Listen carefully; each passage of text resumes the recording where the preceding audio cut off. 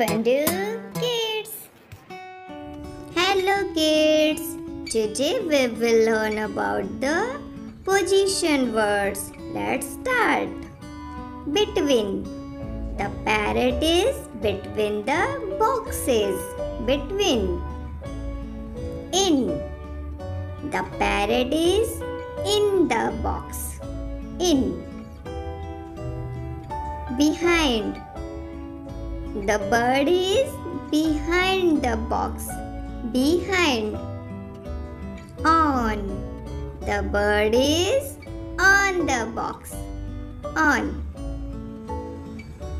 Under. The bird is under the table. Under. Next to. The bird is next to the box.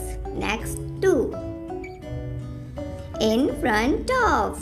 The bird is in front of the box. In front of. Near. The bird is near the box. Near.